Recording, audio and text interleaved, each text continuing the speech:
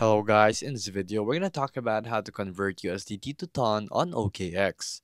So open up your OKX applications right here and go to the homepage. Top left corner you'll be able to locate your profile and from there you'll have to locate convert under the trade section. So here there's going to be zero trading fees for converting USDT to TON on your OKX. So swap it out right here. So from USDT you want to swap it out to TON search ton or just scroll down until you see ton right here and then you'll be able to convert whatever remaining balance you have or your desired balance into ton coin right here. And as you can see it's going to give you 19 ton coins for 100 USDT as the date we are speaking right now.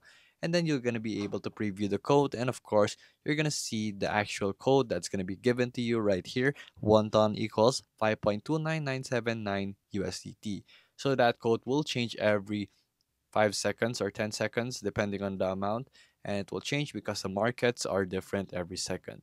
And there you go. It's just that simple